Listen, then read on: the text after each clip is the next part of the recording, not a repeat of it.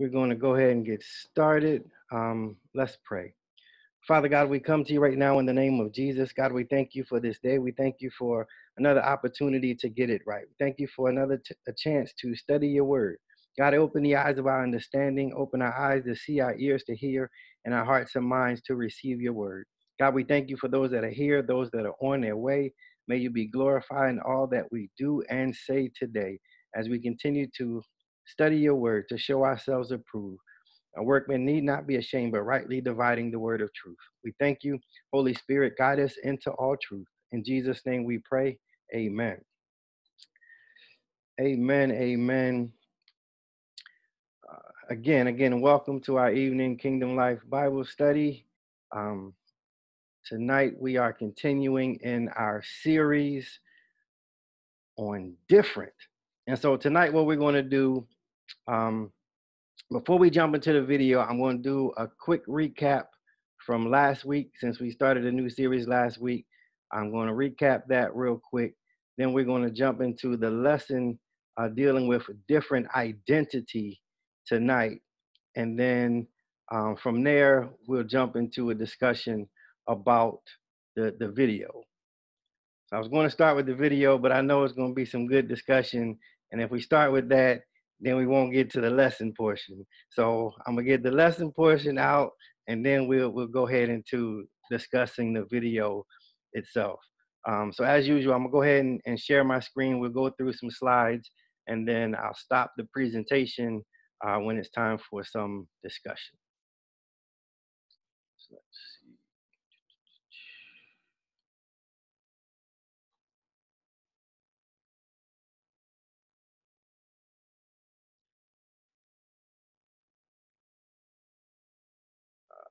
Let me know if you are seeing my screen. Good to go. All right. Again, so this is week two of our four week series um, discussing a topic called different. And again, we're using this video um, from RightNow Media. Hopefully, everybody's been able to access the video and watch them um, so we can continue, you know, to, to study that accordingly. Uh, This week's lesson is on a different identity, focusing on Luke chapter 7, verses 6, 36 through 50. Uh, quick recap from, from last week. We talked about different foundations, right? Making sure that our life is built on the right foundation, making sure it's built on the, the solid rock. And so some of the points we talked about last week, you know, this world has many ideas about success and, how to end up being successful, but God has a different idea about how our lives should be lived. And so, if we want to experience the fullness and the abundance of life that God gives us, we have to learn how not only to, to read scripture, but to act on what it says to not just be hearers of the word, but doers of what the word says. Because his word is what changes our lives, right? And so we got to make sure that we're getting the foundation of the word of God into our lives. And so, as followers of Christ, we got to live our lives on the foundation of God and his word, not on the passing things of this world, right? Because the, the world stuff is temporary. And if you build your life on that, when it's changing, your, your life crumbles. And so we got to make sure that we're building our lives on a firm foundation because the wise man and the foolish man can both build, but only the one who's built on a solid foundation will be able to withstand the, the storms of life. And so we got to make a, a constant effort to, to read and pray and not only just do that, but to act on what the word says. You know, so we can be sure that when the storms of life come, because they will. When they come, you'll be able to stand on them and stand on the word with confidence because you're rooted and grounded and planted on the word of God. And so this week we're going to be talking about a different identity. And right, so this is lesson two. And if we're going to live a different lifestyle, we have to learn how to make decisions based on our relationship with God rather than on what everyone around us is doing. Right? Sometimes we got a tendency to follow along uh, the ways of this world, hoping to kind of blend in and be accepted because that's the norm and that's what's happening. And, you know, so we, we don't want to be a, a square, you know, so we, we want to fit in, but our identity in Christ should dictate our decisions, not our social media status, not our standing in society, not how everybody else perceives us, and, and not, you know, somebody, you know, Facebook famous and Instagram famous, and we, we want to get as many likes as them, we want to get as many shares as them, and, and all of that. But that shouldn't be where our decision making comes. Our identity in Christ is what should dictate our decisions. And so, what is identity? Right? Our identity can really be kind of complex. It's kind of, you know, it's a lot of factors that go into it. So, it can be complex to understand because it's shaped by so many factors, right? Genetics plays a part. You know, your your our DNA, our, our makeup is a combination, you know, of our parents and, and grandparents to, to an extent, right? And so we don't realize sometimes the impact of our genetic makeup you know, genes don't just determine how you look. A lot of times it it it it impacts your behaviors, your mannerisms, and and so you can grow up, you know, apart from your your parents, right? You could have been adopted, you know, your parents just could have been separated, and you just not, may not have grown up with one parent or the other. Yet, when you get around them, you act the same. You you got the same mannerisms. You got the same stuff. Why? Because it's in your DNA. It's it's part of your identity. It's part of your makeup. And so, not only does genetics play a part, but your culture, right? We we have certain cultural things that are unique to the U.S. When you go somewhere else, there are different cultural practices that help to shape people's identity, right? Your exposure. I always say you you can't rise above your level of exposure, right? So what we've been exposed to opens our eyes to different things you know, your experiences, both personal and in society. All of these things kind of help to shape our idea and concept of self and our, our concept of our identity. And so we often base our identity around what we do, right? So I'm a doctor, I'm a lawyer, I'm a teacher, I'm a preacher, I'm a musician.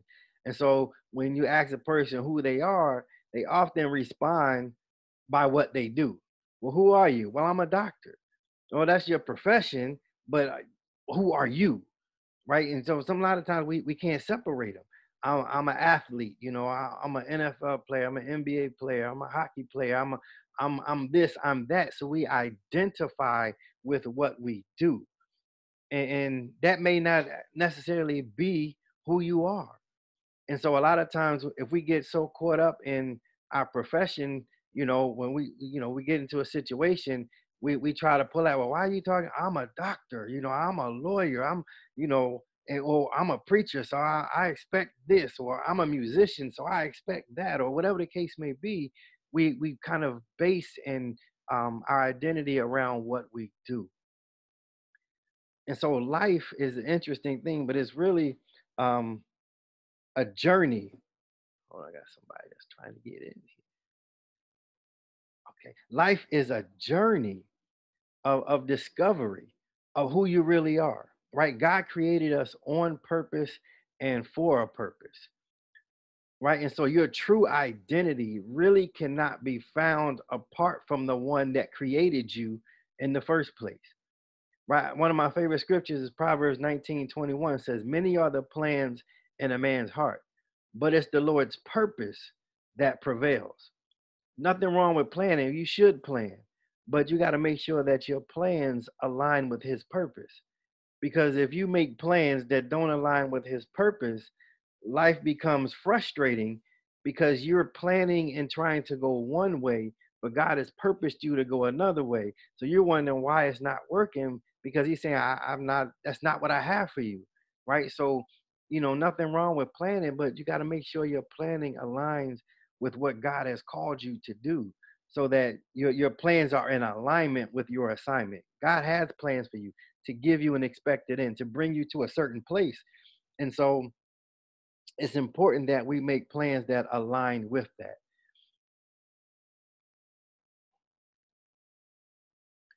So, re- regardless of all these different factors, right, your identity comes from within you. When it when it all boils down, your identity comes from within. Right? There's a saying, as within, so without. Right? So your external reality is a reflection of your internal self. When we look at people and they're going through what we consider to be changes on the outside, right? They change their hairstyle, they change their dress, they change, you know, how they're acting, they change, you know, doing all of these things on the outside. We be like, oh man, they going through something, you know, they they they change and they this, that, and the other. But what we see outwardly is a reflection of what's going on inwardly.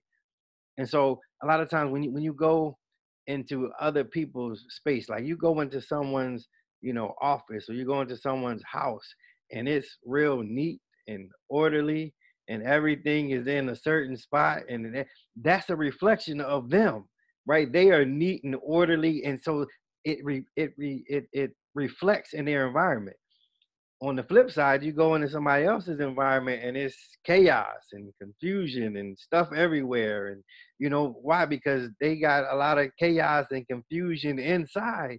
And so it just manifests outside. So as within, so without. And so our God given identity should give us the grounding that we need to thrive in our uniqueness as children of God. Sometimes we, we try to blend in, but God made you who you are. There's only one of you. Right? You only only you're the only one with your thumbprint. You're the only one with your exact genetic makeup. Right? God made us to be originals. But most people they die a, a copy of somebody else. Right? There's nothing wrong with following other people's examples, but be the best that you can be. Right? Learn from them and incorporate that, but don't try to copy them because now you're trying to do something that you may not be purposed to do. And so we got to recognize our God given identity and, and stand on that because that's what gives us our uniqueness. There's only one of you. Be the best you, right? So your identity in Christ, right? In the, in the video, uh, one of the things Jonathan has stated is that when you understand your identity in Christ, no matter what you do, you can truly be who you are because that's never going to change, right? Even when the circumstances in life change, when you understand your identity in Christ, I, it, it don't matter what's happening around me because I'm rooted and grounded in Him. In Him I live, in Him I move, in Him I have my being. And so our identity should be tied to to our relationship with Christ. And so when when we're secure in the identity that Christ gave us, we're able to operate out of the love and the grace of Christ. This means being able to forgive ourselves as well as forgive others. But you know, we can only thrive in our God-given identity when we stop trying to be like everybody else. Why? Because we have to be different. God called us to be different, to lift up a standard of righteousness, to be the salt of the earth, to be the light of the world. You can't be a light if you want to blend in with the darkness, right? You you can't be the salt if you want to be bland and blend in, right? You got to stand out, you know. And, and so be, because you called us to be different, how are those who are in darkness going to come to the marvelous light if we who are in the light don't share that light with them? if we don't let our light shine before others that they may see our good works but glorify him so we have to be different and so now i want to jump in, into um, the scripture lesson and when we finish this we'll talk about the, the scripture a little bit and then we'll go into the video so in in luke chapter 7 um, beginning at, at verse 36 it says and when one of the Pharisees invited Jesus to have dinner uh, with him, he went to the Pharisee's house and re- reclined at the table. And the woman in that town who lived a sinful life learned that Jesus was eating at the Pharisee's house. So she came there with an alabaster jar of perfume.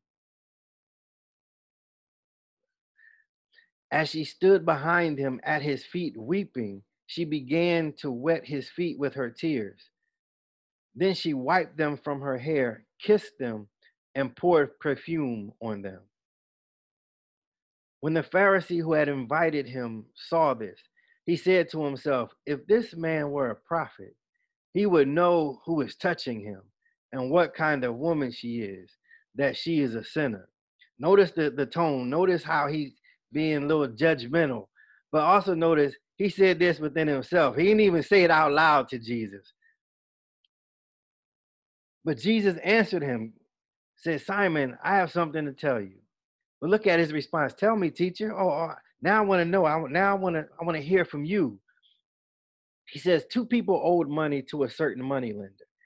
One of them, one owed him 500 denarii and the other 50.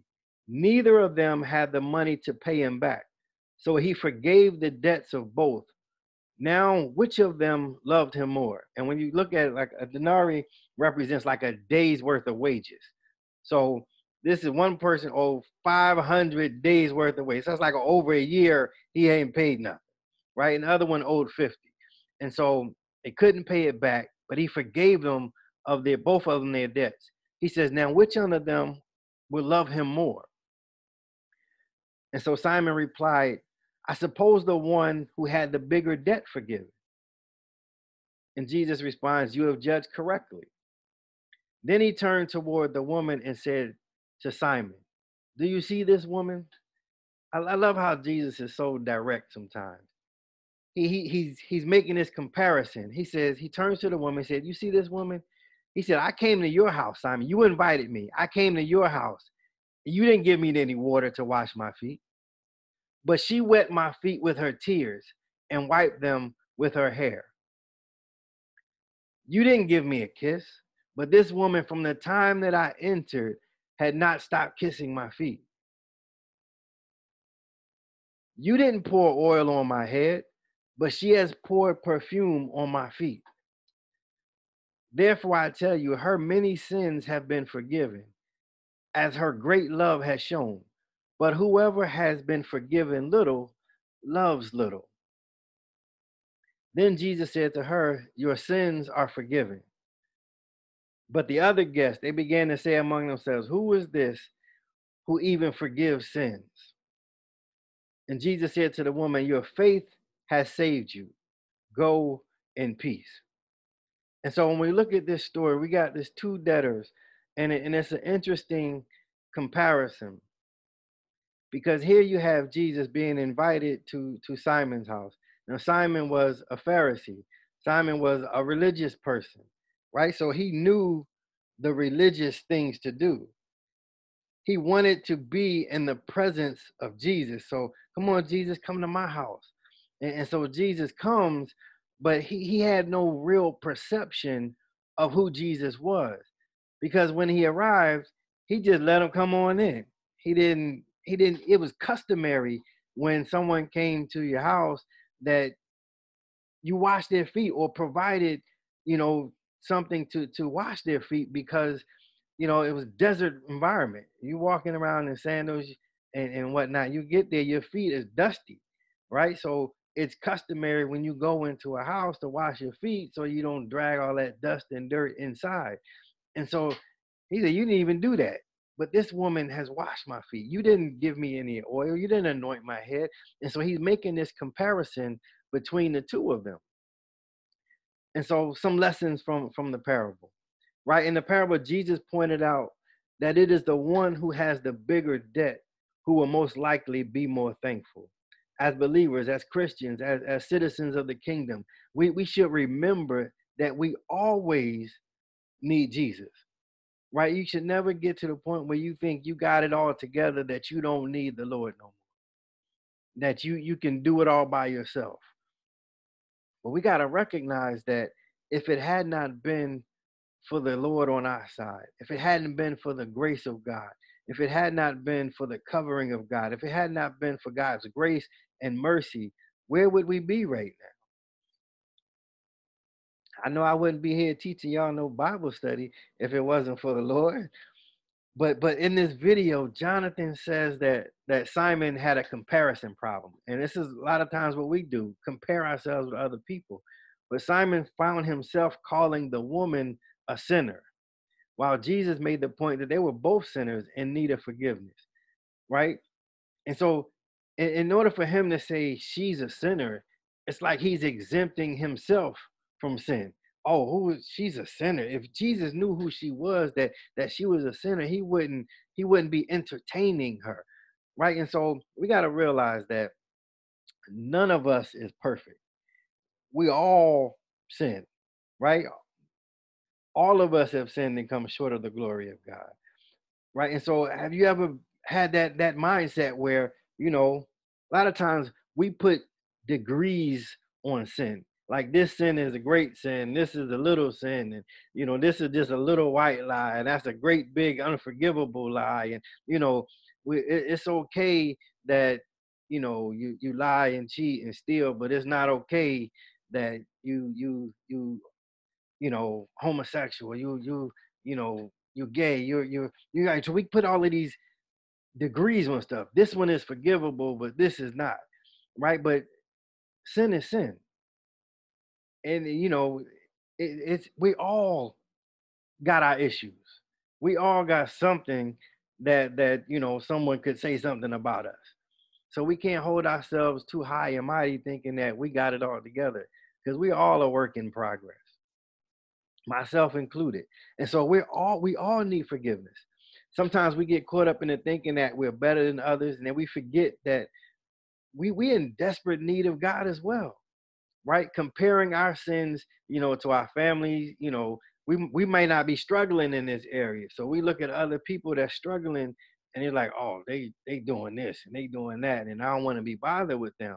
But you know, that could have been you, right? You got an issue too. And so we got to realize that when we compare ourselves to other, it gives us kind of the wrong perspe- perspective, you know, of our own issues it makes us focus on other people rather than looking at ourselves. You know it's like you you you can't see you you focusing on on the little speck in, in somebody else's life and not paying attention to the big old beam in your life right? There's something in front of you. There's something in your own life that you may need to deal with but we try to look past our stuff and look at other people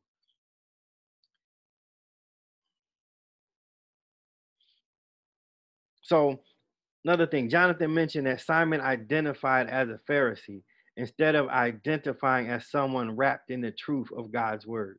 Right? So Simon, he sat back and relaxed, you know, not realizing that he should have been acting like the woman with the alabaster box. He should have been reverencing Jesus. He should have been anointing him. He should have been recognizing who was in his midst rather than just you know living high and mighty. Ha Jesus at my house, he's not at yours, right? He he he was so caught up in the fact that Jesus would, would come to his house that he didn't even perceive who he was and treat him accordingly. But the lady with the alabaster box shows us the meaning of our identity in Christ, right? Her actions in the parable serve as our example, right? She was a sinner, right? But knowing the debt that she owed, knowing that the love of God would cover her sins. She came to Jesus. She trusted him. She she worshiped him. She accepted her forgiveness from him in order to go back and live a life that's full of testimony. And so you and I should should do the same and recognize that we need Christ in our lives and that our identity should be tied to our relationship with him not in being religious and knowing about him, but having a personal relationship with him. Not just knowing what the word says, but applying what the word says to our actual life. Not just, you know, thinking about it and reading the word, but actually doing what the word says. Right? So the, the Pharisee knew all about worship, he knew all about reverence and honor, he had head knowledge, but no heart practice. And so sometimes we can get so full of knowledge and information that we don't apply any of it. Meanwhile, this woman recognized who she was in the midst of, and she identified with that, came to him with her need, and anointed him in the process. Now, now Luke, this this story is actually in in Matthew, Mark, and Luke, but Luke takes a, a different uh, approach. When you look at the other two, um, Simon, one he was a leper, you know, two uh, he was a Pharisee, and, and they the other disciples got mad because she had poured out this this oil on Jesus, and they were like, "This could have been used to feed to to, to sell and, and feed the poor." And Jesus said, "The poor you're gonna have always, but not me. But what she has done will be a memorial." And that for years to come, people were going to remember what she did because not only was she anointing him, but she was anointing him in preparation for his burial because right after this is when Judas betrayed him, which led him to the cross. And, and so this was a, a, a pivotal point in the fulfillment of Jesus's mission. So God has called us to be of full service toward others, forgiving toward others, and humble in the process. And so, um, discussion question for from the two debtors. Looking at this story, in the video, Jonah says that Simon had a comparison problem, right? He found himself calling the woman a sinner while uh, Jesus pointed out they were both in, in need of forgiveness. And so, how does Simon, the Pharisee, the religious person, how does he treat this quote unquote uninvited guest compared to the way Jesus does? Right. So, I'm to stop sharing for a minute. I just want to, you know, get some some comments from from this story and how did Simon, right, the the religious one, the one that go to church every every Sunday, the one that that watch you know services online and and, and sing you know worship songs, how did that religious person treat the quote unquote uninvited guests compared to the way Jesus did? We'll talk about that for a few minutes, then we're going to jump back in and we're going to talk about the, the stories in the video. So I'm gonna stop sharing for a moment.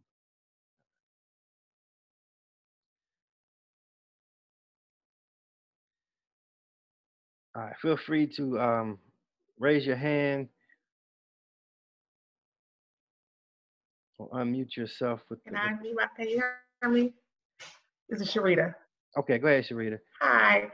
Well, I can say Simon did like a, lot of people do look on the outside. Mm-hmm he looked on the outside. He saw the outside of what she was doing outside, and where Jesus looks at our hearts and uh, what our hearts, you know. So I can say Simon was look, looking with the physical, physical eye. Exactly. He was looking with mm-hmm. the physical, looking at the outward appearance, looking at, mm-hmm. you know, what her quote unquote reputation, you know, but Jesus, he looks at our heart, right? God, man looks at the outward appearance, but God looks at our heart. Good, good. Hamid.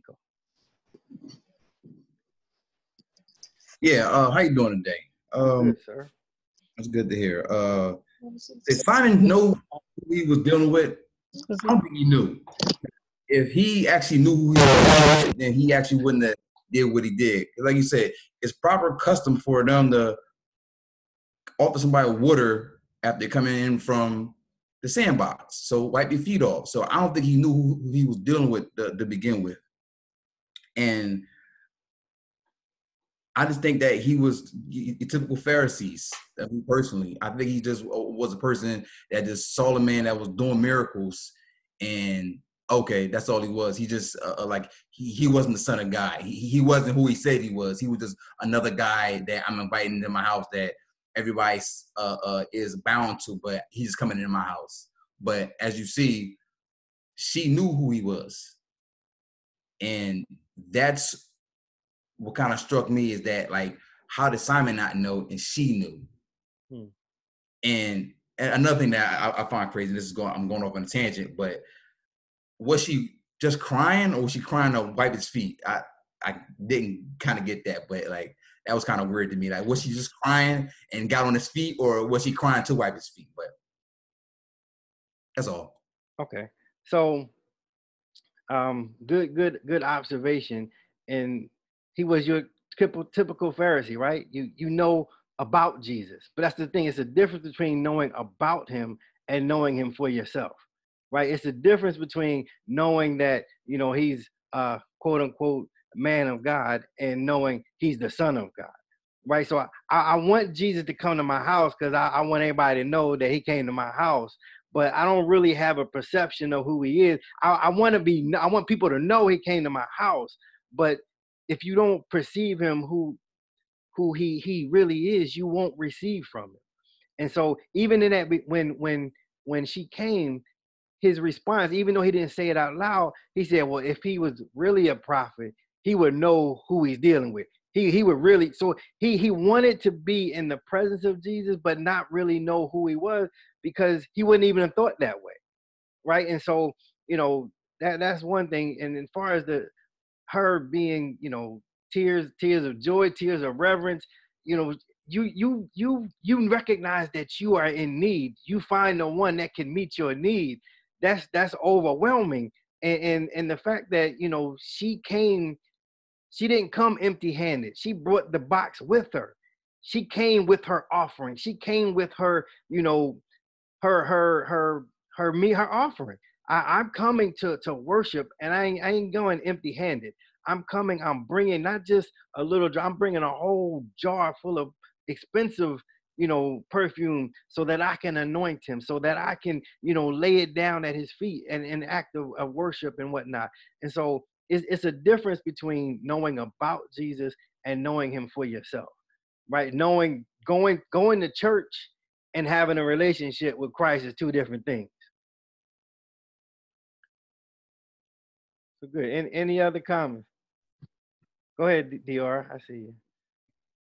Um, listening to you all is um amazing, and it when um the other gentleman was just talking right before you, and then listening to you, it makes me realize that sometimes we um take for granted because you know because we're saved or because we're Christians and we know God, we take for granted the access that we have to Him. Mm. And Simon had literally Jesus is in your house, and you had a nerve to say something about somebody that heard he was here, right? Found out where he was, got there, and then literally gave all that she had to him. But you're with him. You know what I'm saying? You're like you you you commune with him, or you have. Let me say this, but you have the opportunity to, to commune with him, but you don't. And mm. I think sometimes we get so we get lazy, we get comfortable, even with church, you know what I mean? Because we can go there and we get the praise team and we get the word and everything we need is there. But when we got to put that work in outside of church, you know, just like now with COVID being here and us not being able to be in the physical church, even though we are the church, um, is making us figure out do we, like you said, do we really know, do we know God or do we, have we just heard of him? You know, so I think that it was, it kind of, you know, got my got my senses going. Like, you know, am I really taking advantage of the fact that I have access to him? Yeah. That's good. You know, familiarity breeds contempt. Sometimes we get so comfortable and familiar with things that, mm-hmm. you know, we don't honor and reverence God the way that we should. Because, you know, oh, like you said, everything is provided in the service. You know, if I don't feel like singing, the praise team can do it, right? If if I don't feel like right. somebody else can do it, right? And so, but when that again, that that's why we got to have a personal relationship with him. That's right. And, and, so that out of that relationship, you know, it, it causes us to not even worry about what other people are doing because it's about my relationship with him. And so if mm-hmm. nobody else is going to praise him, I'm going to praise. If nobody else is going to give, I'm going to give. If nobody else is going to do it, I'm going to do it. Why? Because it's not about them. It's about me being in fellowship with him. That's good. Claro, yeah. Um, I think even when we had the chance to commune with him, can, can you hear me? Yes, I can hear you. Um, when we had a chance to commune with him, sometimes we don't because we take that chance for granted. And if something comes up, we don't always put God first in our lives. We put that other event first. And even communing with Him may not always take the sign of physical communion. It may take the sign of fellowshipping, praising God, or just going to church. And sometimes that's not first in our plans. And now that we don't have it, we realize the impact of not having it and I really have to think that the church is more than a building. We are that church. And when especially Sunday when the under 65 Independence Day comes back. How many people are going to realize what they didn't have for three months, and how many people are going to come back and be excited to be back and actually be excited, not just going through the motions of that excitement. Right. That's good. Yeah. I mean, it's going. It's going. This has been an interesting time of not being able to go in, into you know the mm-hmm. church building, right? And like I said, it, it kind of forced us to reevaluate our concept of church and mm-hmm. realize the church is not the building; we are the church. And so, what are we doing when we can't go in the building? right and so for too long church has become something that we do like i go to church so when i go to church i do church stuff but when i'm not in church i do regular stuff right and so mm-hmm. it, there's this separation but now that you can't go into the building now what what happens do, do you not do church stuff no more do you not pray anymore do you not read the word anymore do you not study do you not you know are you still doing those things and still developing your relationship even though you can't go in the building. So that's good. All right. Good, good, good. So I do want to jump back and jump back to the presentation, uh, give a quick recap of the videos, then we come back and, and we'll discuss them. All right. Let's see.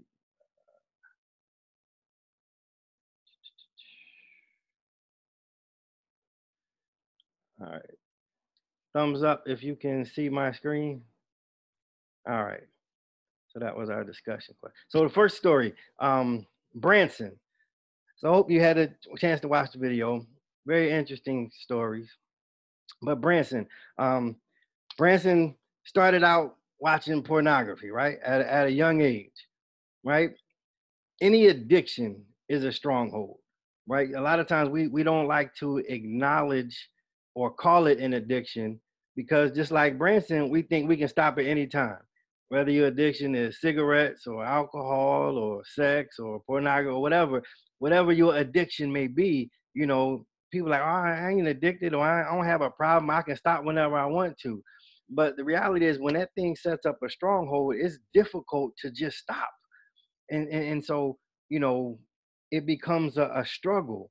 And so Branson, he grew up in the church, right? Even had a dad in his life that was a pastor but he was still engaged with pornography, right? We tend to think that or forget that anyone can struggle with sin, no matter the environment, right? You know, sometimes people think just because you are a preacher or a pastor that we don't have issues, that we don't struggle with stuff, right? We we we have our issues too, eh, eh, just like you. Everybody has some kind of issue, and so you know, have you ever you know done that? Like looked at a person whether it was in ministry or whether in your family or you know what have you, and expected certain people to be you know sin free and, and not struggle with a specific thing. Sometimes we think you know that's just for for non-believers, but sometimes believers struggle with issues as well. And so when we look at his story, it's a very interesting story because his father had confessed to him that he, he struggled with pornography. And then his mother came to him and his grandfather was convicted and, and sentenced to life in prison for, for the same issues. Now, so you, you can imagine the conversations that was going on within him about who he was. Like here he is, he's, you know, a, a PK, preacher kid, right? And, you know, my dad's a pastor and now I'm struggling with this pornography thing. Now I find out my dad had the same issue, which, you know, his parents got a divorce and he didn't specifically say that, but I'm sure this was a factor in that.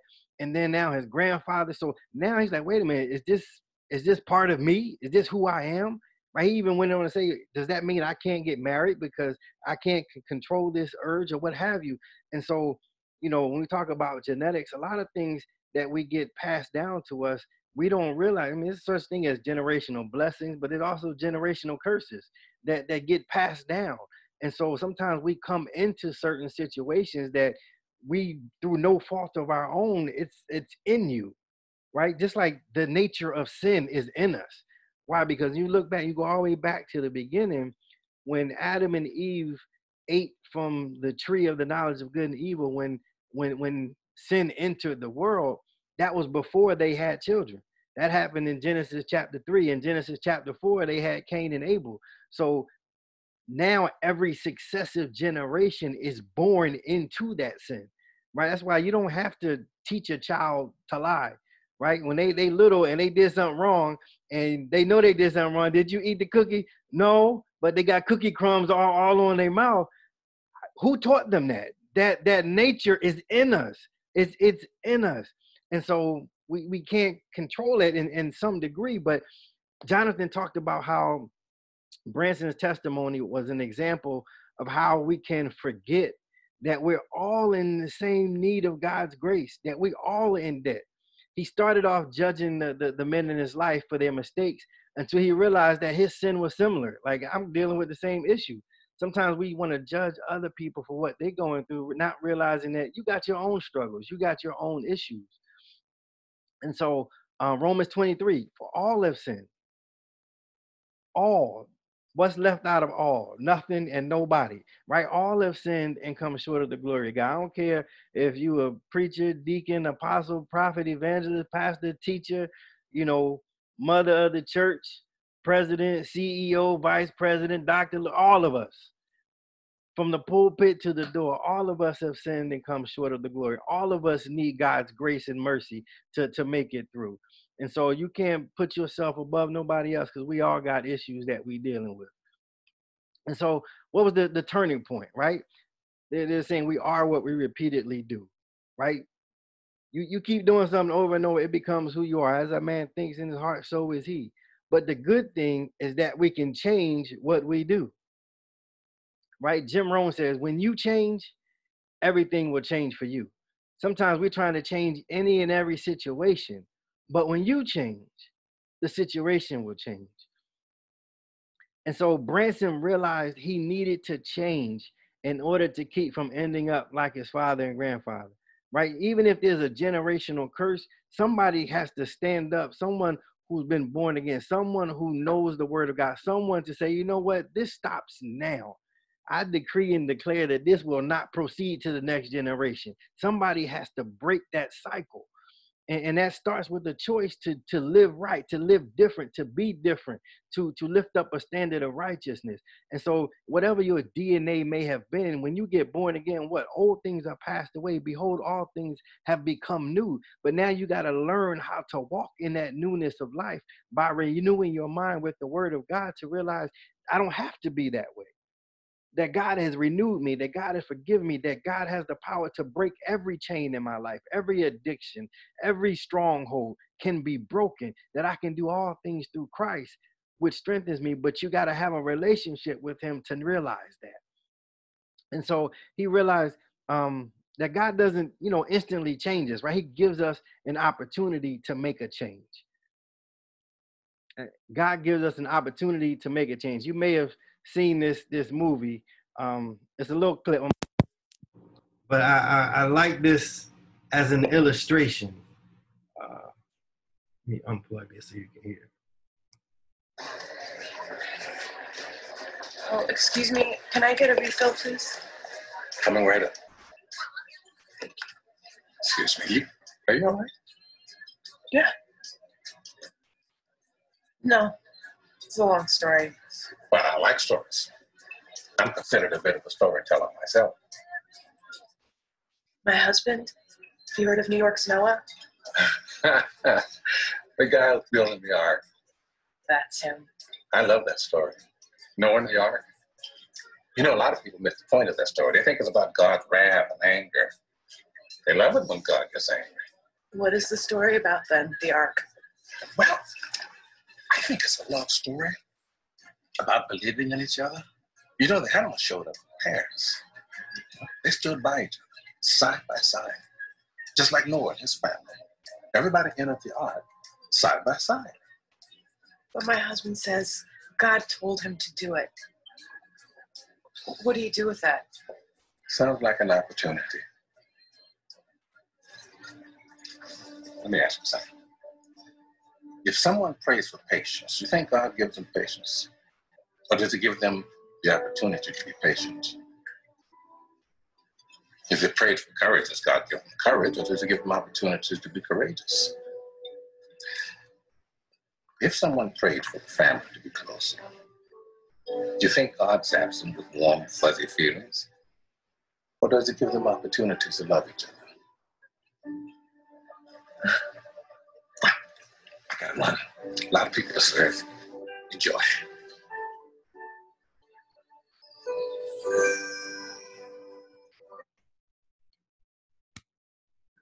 So that's a clip from the movie uh, Evan Almighty. But it, it's a, it's a good illustration that you know sometimes we pray for stuff and we think God just gonna drop it, right? You pray for patience. He not just gonna oh instantly give you patience. He gonna give you an opportunity. He gonna send some some wild rambunctious kids your way to teach you how to be patient, right? You know you, you want more money, God is not going to drop money out the sky. He's going to give you opportunity to be good steward with the money you have. And when he see you faithful with the money you have, he'll give you some more because he knows that I can trust you with a little. You you'll do right with the little, you'll do right with the lot, a lot. And so God gives us opportunities.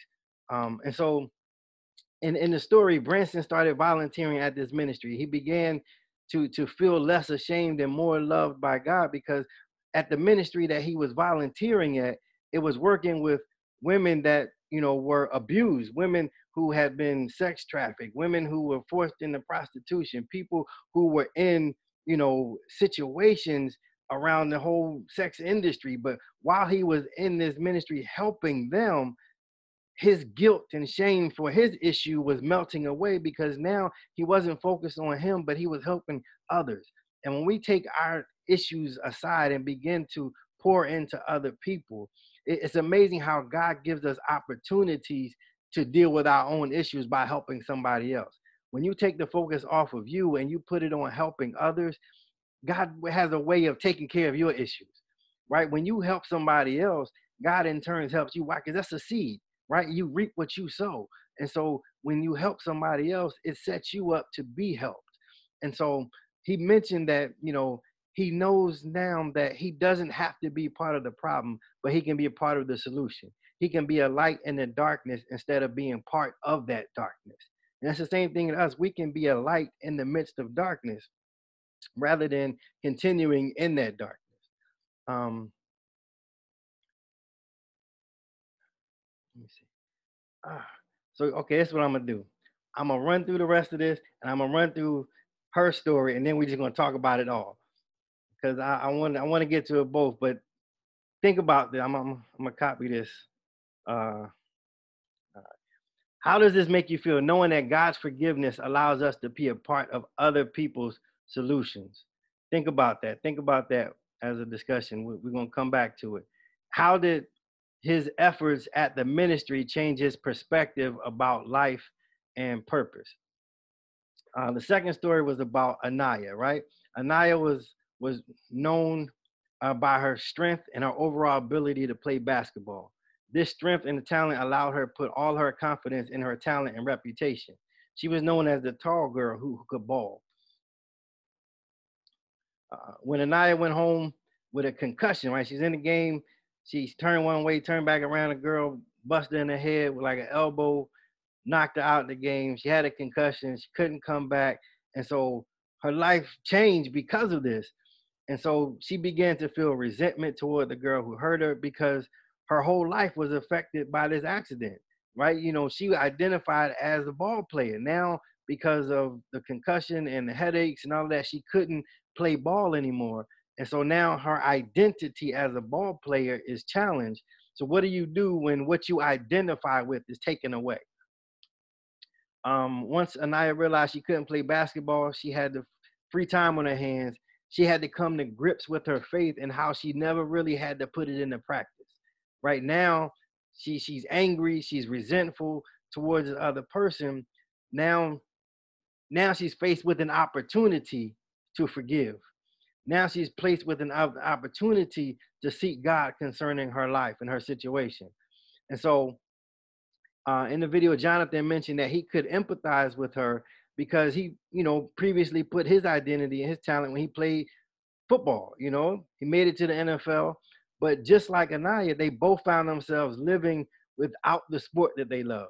Right. So now, if my identity is in playing basketball or in football and I can't play that anymore, who am I? And so when when when we place our identity in things um, that we do rather than than letting our actions reflect who we really are in Christ, we remain in this cycle of heartbreak because the roles have changed, right? If you identify as a ball player and you can't play ball anymore, who am I now? Right? And that happens with a lot of people. They they make it to their dream was to make it to the league. And so they made it to the league. They didn't have no dream after that. And so now that that's over, they can't play anymore.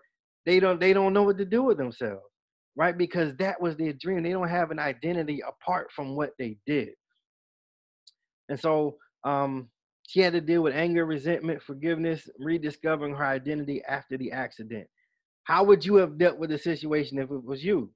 Right? You you you a ball player. You got an opportunity to go to the NBA, the WNBA, and then somebody elbow you in your head, give you a concussion, now you can't go to the league. How would that make you feel? Um, once she realized she couldn't play basketball, she had free time on her hands. She had to come with grips. Um, that she never put her faith to practice. In what way did Anaya put her faith to practice to develop a deeper relationship with God? So I'm gonna stop sharing and give me your thoughts about these two stories and what, what we can learn from from this.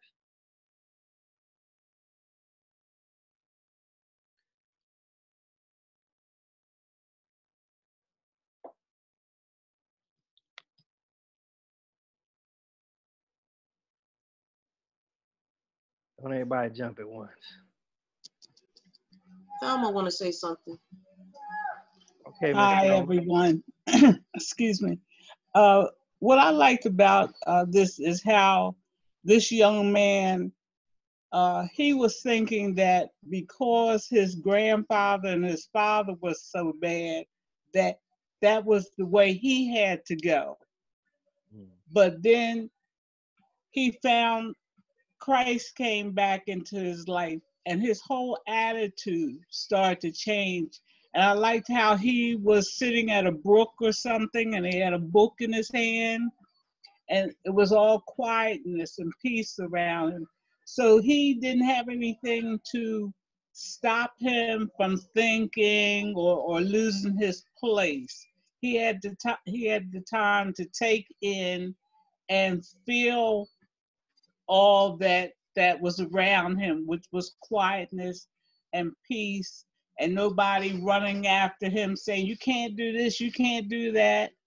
You know, so, you know, I just found it real restful for myself even today because I, I, I looked at it twice and I okay. thought, yes, that's right. You do have to go into your own little personal closet or whatever and just sit back and take in all that God is giving you.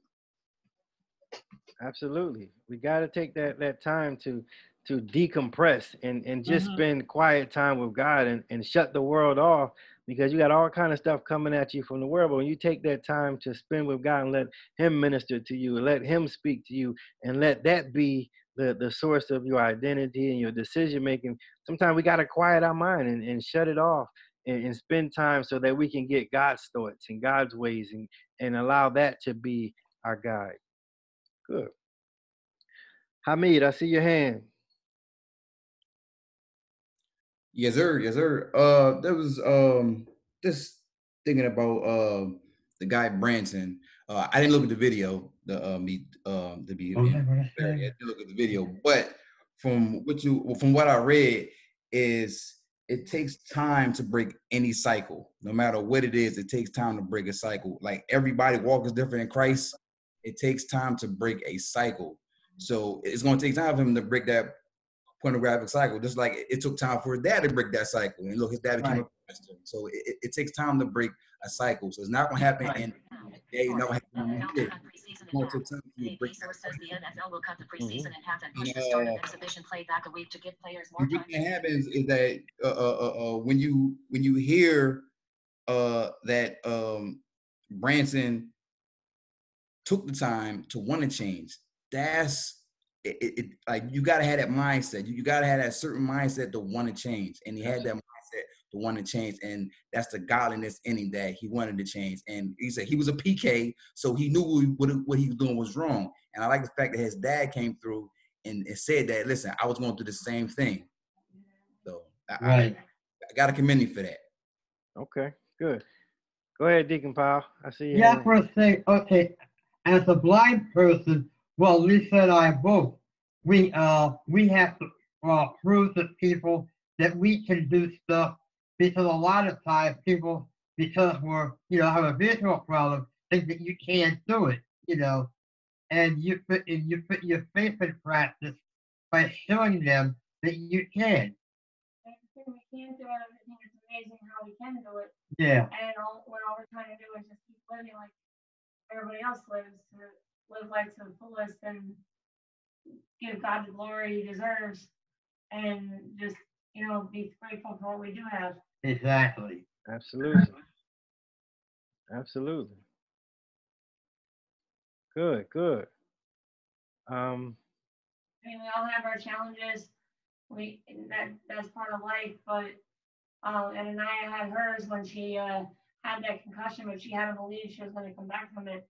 And all the time we had to believe that every time life throws us a punch in the face, we're gonna figure out a way to get around it. There's an old saying that what it, that what life gives you lemons, make lemonade. Yes. absolutely. And I Mhm. think that that's um sometimes you know life throws us a curveball you know what we were planning one way didn't work out and then you know what do you do that, that i think that that goes back to uh last week you know being built on a different foundation like if you have the the word of god as your foundation and you identify with christ you know that okay if this door shut if god can shut that door he can open another well you know if if God closed this opportunity, that means He's got something else for me, right? But if you if you're not rooted in that, you could you know lose your mind. Oh my God, this and I can't play ball anymore. What am I going to do with myself? I, you know, I'm not worthy, and I can't do anything. That's all I was good at, and and, and realize that when when when God is your source, when your your foundation, when your life is built on on the Word, when you have a relationship with Christ, He said, "I will. I'll never leave you nor forsake you." And so, even though we go through tough times, He's there. And when we can learn to, to lean on Him and, and, and trust Him, even in the midst of that, realizing that He's going to see me through this thing. And so, um, just to go back to, to what Hamid said, it is a process. And, and if I'm not mistaken, in the video, he said he struggled with it for about 10 years, right? So it, it was a long struggle.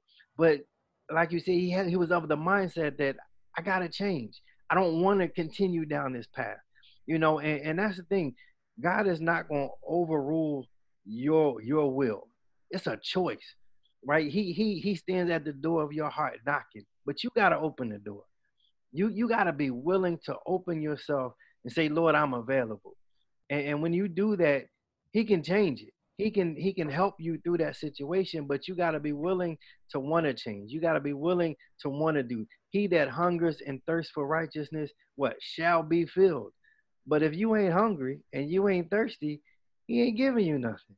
Right? But if you want to to you want more, you want to change, you want to get out of your situation, he's there to help you. But some people they don't want to get out. They they they comfortable in their misery. Right? And and, and they want to bring you into their misery because they don't want to change. Right? But when you want to change and when you want to do right, God can can do it. You just got to be willing to do. Any, anybody else? Comments about Branson's story or or Anaya's? Go ahead, Diora, and then uh, Gladys after her. I just think um after listening to I could not catch his name again. He talked right before you again. Um Hamid. the yes. Um when he you know just basically with Branson's story how and I wasn't able to watch it either, but I'm even more excited to watch it now. Um how his dad shared with him his experience.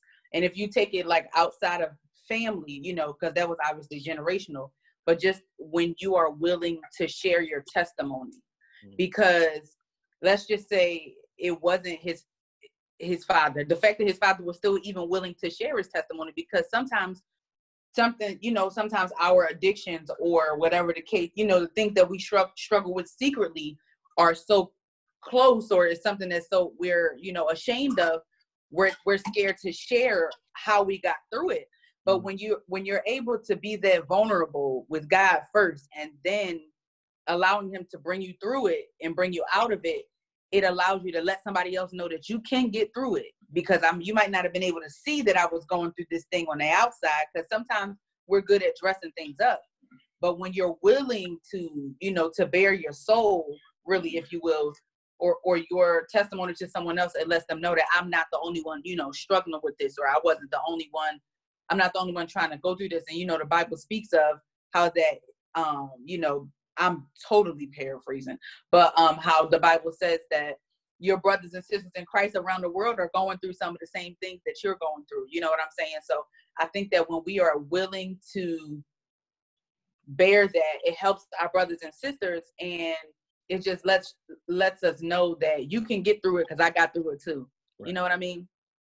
Now, that, I mean, that's a good point because a lot of times, you know, God delivers us and brings us through a situation, and we we keep it to ourselves, you know. But you don't know how sharing your story will minister to somebody else, right? And, and I always say, you know, the the best witness is your story, right? Not how many scriptures you know and how many you know Bible stories you know front and back, and how many characters and how many books of the Bible you memorized, and and, and all of that's good, but what's your story?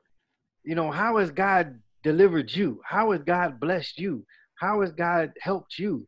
And, and so when we can get to the point where we can share our story, you know, and and granted, you gotta you gotta use discernment and you gotta be led by the Spirit of God because not everybody can handle your story, right? Some people hear your story and they want to go tell your story, right?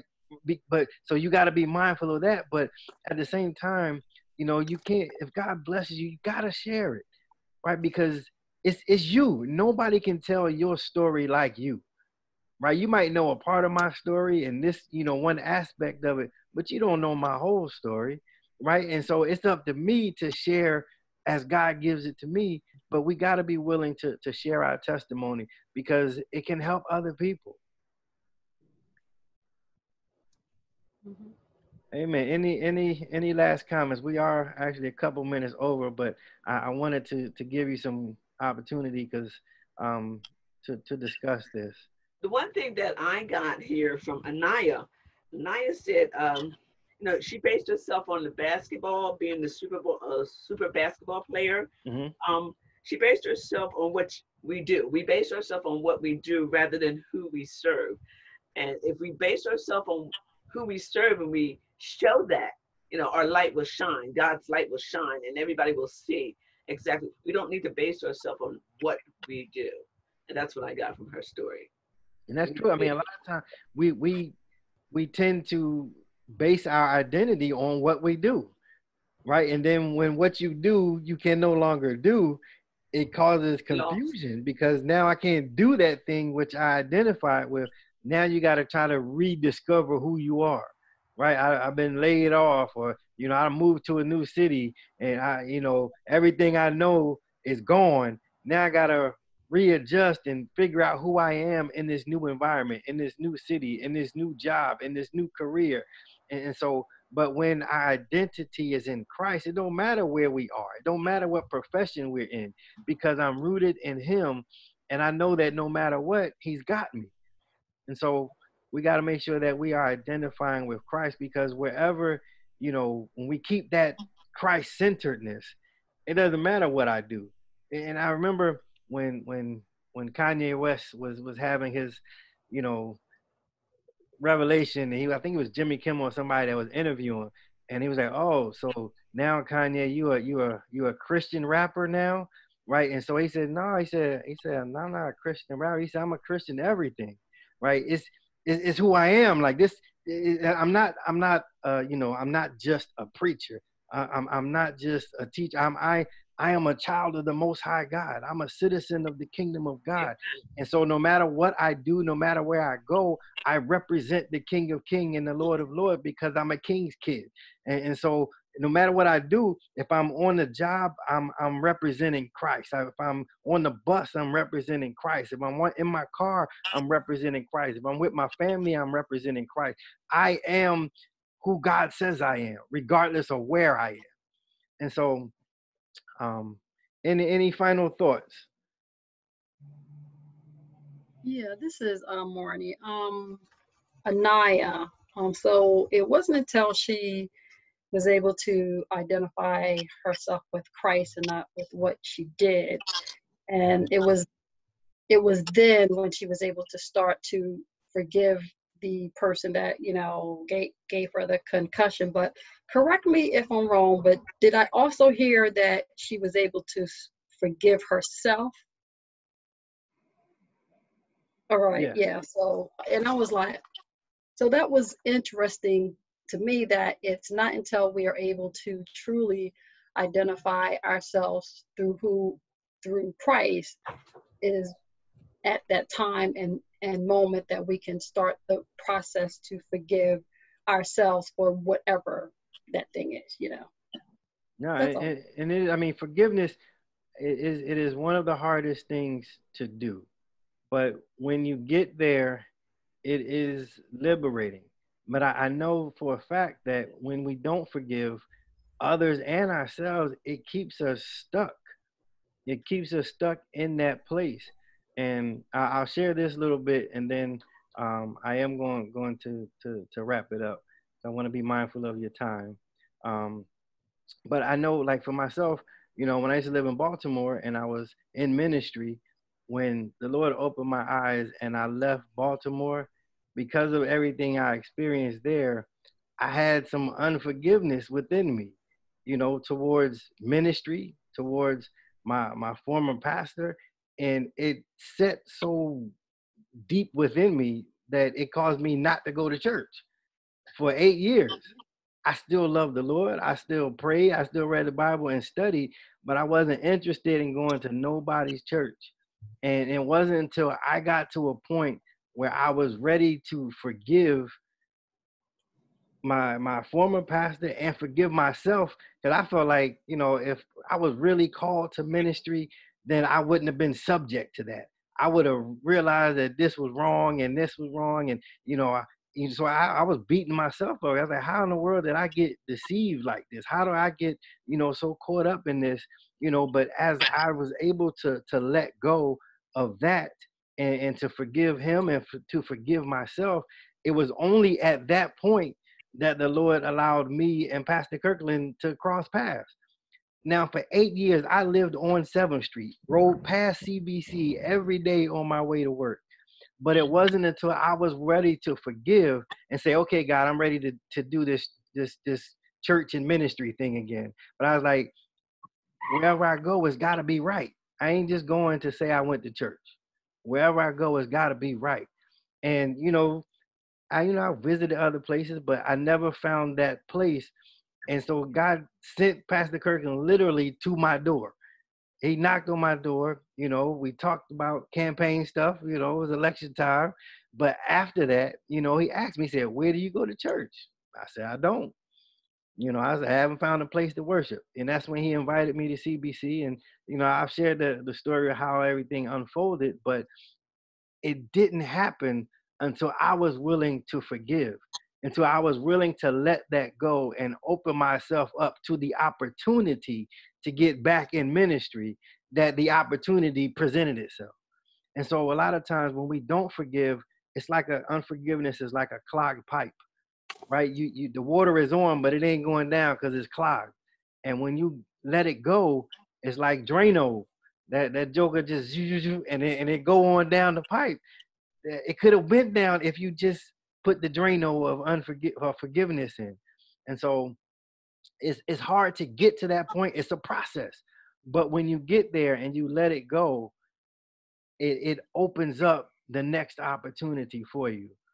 Um, and so, you know, we got to keep, you know, realizing that our foundation should be on the word of God and that that our identity should be in Christ and not in what we do but in who we are and who we've been recreated to be, made in the image and likeness of God, and realize that we, we God has called us to be different, and that we should not be ashamed to be different, but to walk different, to talk different, to lift up a standard of righteousness so that those in the world can see the difference in our lives and be drawn to that light away from the darkness.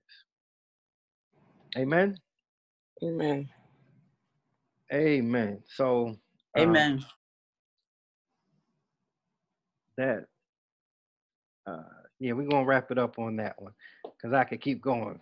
But um, next week I want you to watch uh, video number three. Video uh, number three is on uh, a different heart. So different foundation, different identity, and next week is in on a, a different heart. So that's video number three. Uh, watch that. If you haven't watched the other two, get caught up so you can, you know, know where we at. Um, but next week, uh, chapter number, uh, lesson number three on a different heart. Amen. Let's pray, and then I'll unmute everybody uh, and give you a chance to say good night to folks. Uh, Father God, we thank you for this day. We thank you for this opportunity to study your word, God. We thank you for the opportunity just to identify with you, to realize that our identity should be in Christ and not in what we do, but our identity should be in who we serve. And so, God, we just thank you for saving us, for delivering us. God, help us to develop the courage and the compassion to share our testimony, to share our story. Thank you, God, that no weapon formed against us shall prosper, no plague shall come nigh our dwelling. God, we thank you that we're blessed going out, we're blessed coming in. Thank you that your favor surrounds us like a garment. God, we pray that you would continue to keep our families covered, God, that you would continue just to have your way in our lives. God, let your kingdom come, let your will be done in our lives. We thank you for our pastor, our first lady, God, and the ministry as we get ready to uh, return to the sanctuary, God. Just give us the, the wisdom to do things decently and in order. We pray, God, that your will would be done in the sanctuary, that people would come back on fire and ready to praise the Lord and not just have church as usual, but commit to living a transformed life. And so, God, we thank you for the power to be different in every area of our life, to lift up a standard of righteousness. Thank you, God, that as we leave this broadcast, we never leave your presence. Thank you that your angels encamp round about us, protecting us on every side, and that we're blessed and highly favored. Until we meet again, in Jesus' name we pray. Amen.